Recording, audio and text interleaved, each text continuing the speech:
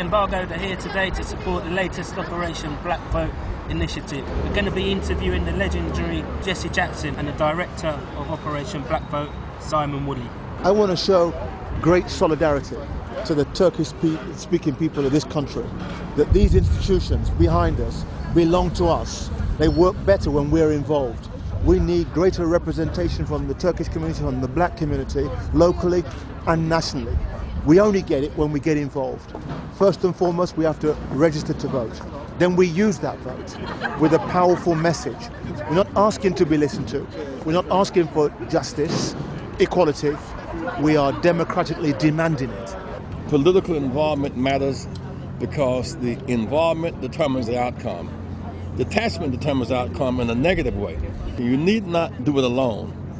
find other groups with shared interests. And so in this case, it's the Turkish, it's, it's the Caribbeans, it's the Africans, it's the Asians.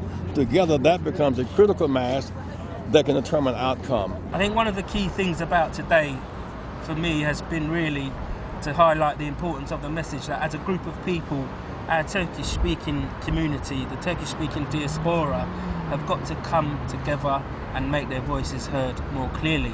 Enlightened, inspired minorities affect the outcome of the majority, and therefore you have power the power to determine uh, your interest, the power to gain security and protection under the law. I think we are where the black community were 15, 20 years ago, where a lot of black people were disengaged with politics. But OBV has changed all that. They've made people realise the importance of taking part in the democratic process. I would say to the Turkish community, look, in many respects, we know about injustice. We see it on a, on a daily basis in some respects. The way that we can tackle injustice is by dispensing justice, by becoming magistrates, becoming school governors, becoming local councillors. Come to Operation Black Vote. We will help you, guide you, uh, encourage you uh, to be the very best you can be. That's what this poster campaign is about today. Ask the best from yourself and from society. First step, register to vote. Every vote matters, everybody matters, and issues of substance, whether it's health and safety, education, fairness in the job market, access to capital, all determined by, by politics. And so engage in, if you expect good outcomes, make big investment in, in voting.